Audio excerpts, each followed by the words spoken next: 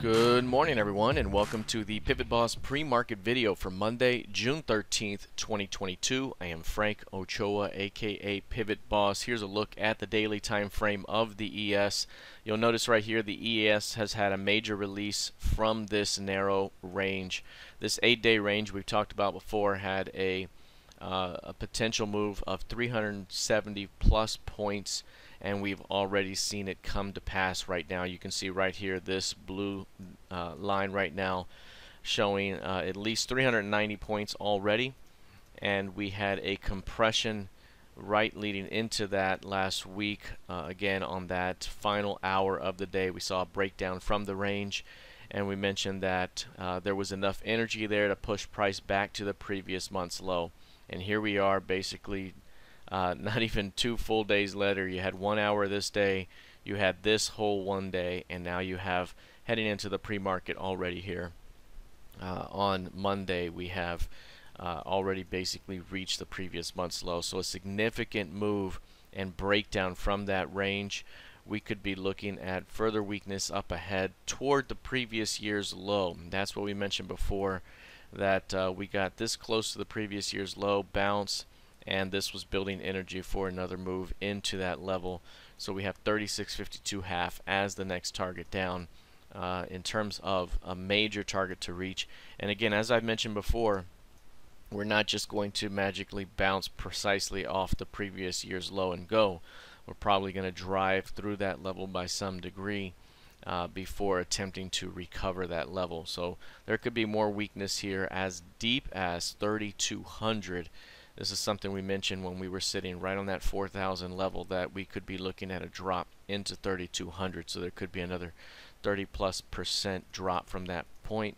Right now, again, we're sitting right on 3800 with the potential to drop at least another 600 points perhaps into this zone. So again, this is looking rather bleak at the moment. Uh, typically speaking, if we are going to bounce here, we may see some sort of significant rejection, a lower low rejection here that could keep us back in the range, but this has been a market this year that every single bounce has been sold for new lows. And uh, again, 36.52 at the very least is still ahead. If we take a look here at the NQ, this one's down 2.85% here already heading into the RTH Open. Again, this is another one where we were uh, looking for a significant breakout from this range. We got that breakdown and we've already seen the expansion down to the previous month's low price. We've already seen uh, 1400 plus points into this upper red dot right here from this compression boom into that upper red dot just in a few days. So again, a major elongation of this profile here, a major breakdown from this narrow range. We were quantifying this narrow range the entire time, mentioning that the potential here was for a downside break and for a test at least back at the previous month's low. Now, in terms of further downside price action, we could be looking at a move that takes us somewhere in the vicinity here of around 10,000 to 10,200. That's the next major CLVN below, but we could be looking at further weakness that could take us even lower. Um, so again, right now we're, we're looking to see how price responds to this double bottom zone.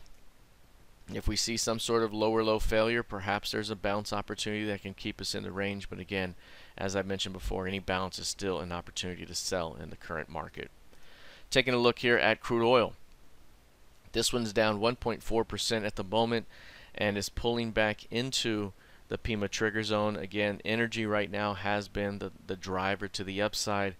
Uh, energy stocks have been leading to the upside, and any pullbacks that we're seeing right now could offer an opportunity to buy the dip. Right now, we're seeing a pullback into the Pima trigger zone. That's a bullish Pima trigger zone that has been trending higher. Uh, we, we're seeing price right now attempting to hold the previous session's low. And again, on any pullback here, this could provide an opportunity to buy the dip and see this thing continue to flow higher. Uh, even a, a, a, pullback as deep as the 116, 115 zone right now is an opportunity to defend for a shot at pushing this thing up. So again, on any pullbacks here, multi-day pullbacks, it could provide an opportunity to buy the dip and watch this thing continue higher toward that 125, 126 zone up above. Taking a look at Bitcoin, Bitcoin down 17% right now. A major downside break. This is something we've been gearing up for for a while. I mentioned before that we are building out this tremendously narrow range, and typically speaking, uh, we don't just magically bounce out of this range. Instead, this is a range that can tend to lead to major weakness down below. And I likened it to something like this before where we were building this range and then all of a sudden this major drop occurred. Uh, back here as well and then a big drop.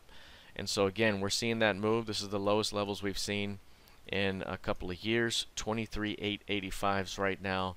Uh, we mentioned before that if we're going to break down from this range, there's about 10,000 to 13,000 points of range that could be seen ahead and to break eight, uh, 28,000 would open up at least 18k down below 18k would also coincide with the S uh, 25 right here. This is the yearly S25 of the pivot boss pivots. That's right at 18 to 11 so again we could be looking at quite a bit more weakness down below. Uh, now again if there is some sort of significant rejection that happens by the end of the day where we look something like this Perhaps there's a little bit of a bounce up, but again, as we mentioned before, uh, this market right now is just very difficult to see it going up. There's no major catalyst to get this thing going up. Instead, uh, everything is pointing to more weakness up ahead. We do have the FOMC statement and rate decision later on this week, Wednesday. Again, uh, a likely rate increase, and we also have the press conference afterwards with Fed Chair Powell speaking. Fed Chair Powell speaks also pre-market on Friday, so it's going to be a Fed heavy week. And again, what Fed Chair Powell and the FOMC statement says could uh, have an impact on, on further prices in equities and also in crypto. We take a look here at Ether futures. This one's down 25% right now. A major violation of the 1700 level. It closed below 1700 for the first time here in a long while on Friday. Today opening uh, or Sunday opening with a major gap down and breaking downward. This is the futures chart where it shows a previous year's low, but last year the futures didn't start till around February. So if we take a look at the actual uh, cash chart right now, you'll notice that 717 is the actual previous year's low. So again, we're gunning for that level. Uh, price took out the 2791s and right now we're seeing a push down towards 717 so hard not to see 717 not reached. We also have value back at 382 so again a big time decline here a major sell-off especially in the futures of over 25% one other thing here is we mentioned from the beginning here that this key range right here very very important. Major key range bounce back and uh, that's the range we've been watching. Over here there was a trap in reverse. Then we had this box that formed below the low and now we're seeing the big downside expansion. I mentioned from the beginning here that that level uh, the 100% target is right here and that is 902.50 so we're still working downward toward 902.50 just to reach the FOM or rather just to reach the uh, the key range target. But again that doesn't mean that we stop there.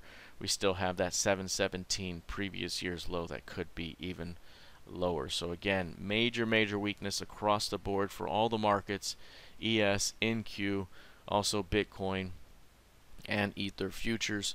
Uh, right now only the dollar higher at the moment um, with everything else mostly flashing much much lower. So again uh, very bearish at the moment. We'll see if there is the ability to find a strong low today. Otherwise, we could continue to see further weakness ahead.